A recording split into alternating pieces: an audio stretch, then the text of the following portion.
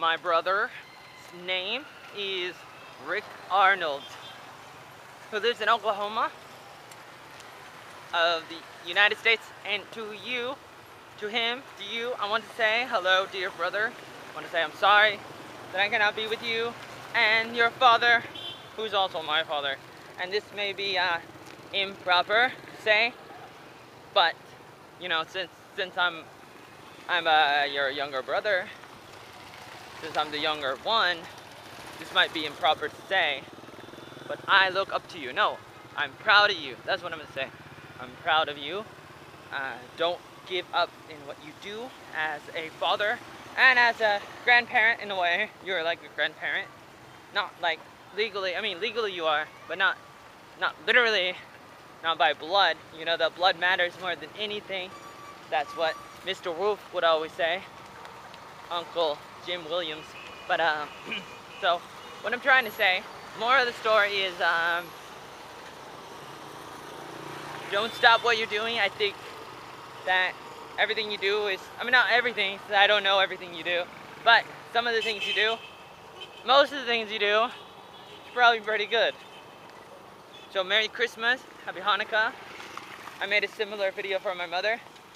And I'm thinking about making videos about other people too, like other people in the family. But maybe I won't, maybe I will, I don't know. But I was inspired, really inspired to make a few videos, at least right now, you know, whenever I can.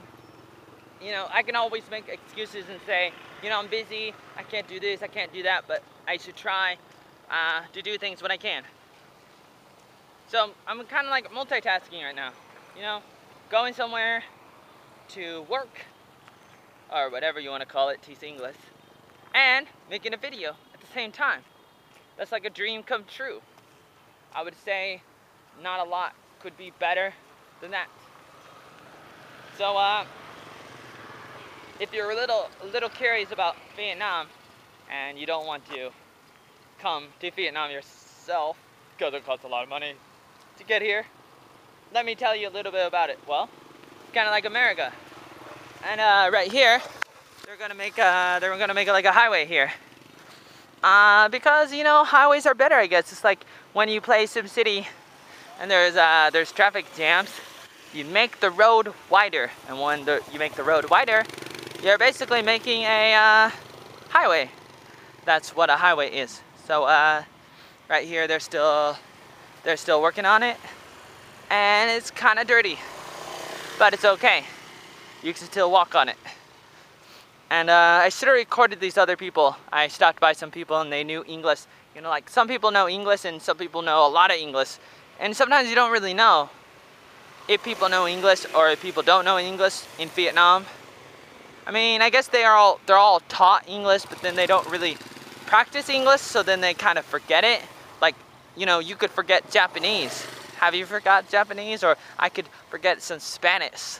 Or Crystal, our sister, could forget some like I don't know French. or is that what she studied and uh, they're making uh, they're making a hotel uh, around here they're making a hotel so it's like you know uh, things are getting better I guess in some ways at least you know because of the companies from other countries that come in and they invest in Vietnam and uh, they start building and in some ways that's better. Even though you know there's still like poor people or you know there's like some people don't have as much money and that could be uh, a problem with the, the poverty other things or how much human rights you have because like for example um, like John Kerry came to Vietnam like a few days ago and then people are like they come to me and they say oh hey did you know did you know that uh, Xin chào. Uh, they're like, oh, did you know John Kerry was here? And did you know John Kerry was here? You know, the people say, people say to me, oh, did you know? Did you know John Kerry was there? I was like, oh yeah. And I was like, oh okay. And uh, it's nice. I mean, it's. I mean, I don't know. I mean, he's not the best person in the world, but then again, who is? But uh, I don't know. it's just I don't know. It's interesting when somebody says, "I," you know, if you know somebody, and and you see somebody that you know from another life, then you're happy. You know, like living in America is like a different life. Even though I say, you know, America and Vietnam is the same, but in another way, it's not the same. It just depends on how you look at it. So, in conclusion, I want to say, dear brother, come to Vietnam. You're always welcome. I may not have a place for you to stay. Maybe you can sleep on my floor. That's about it. If you bring your family, you'll have to stay in a hotel and you're on your own. Good luck with that. It's usually what people say in other countries like Vietnam. You're on your own. That's, you know, ironically, that's what Obama says too. You're on your own. Kind of. I don't know why.